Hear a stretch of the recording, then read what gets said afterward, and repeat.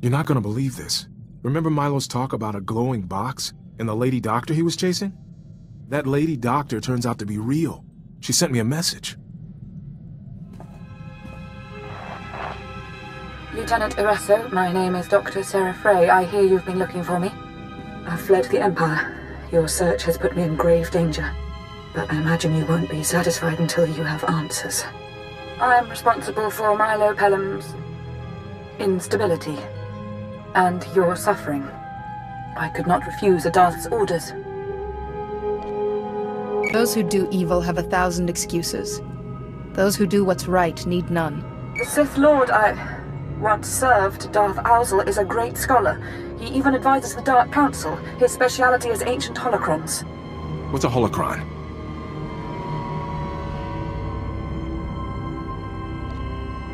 Artifacts containing knowledge and rituals. Sith holocrons have been the downfall of many unwary Jedi. The Dark Council trusted Darth Ousel to decipher a rare holocron for them, but Ousel saw a chance to keep its knowledge for himself. He wanted to copy the holocron into a person's mind. The ingenuity of the Sith never ceases to amaze me. Darth Ousel requisitioned two prisoners from the Empire. You, Lieutenant Iresso, and your friend. The initial procedure was imperfect. Milo Pelham's mind simply collapsed under so much knowledge. But you were a great success. A great success? She had a Sith library in my head.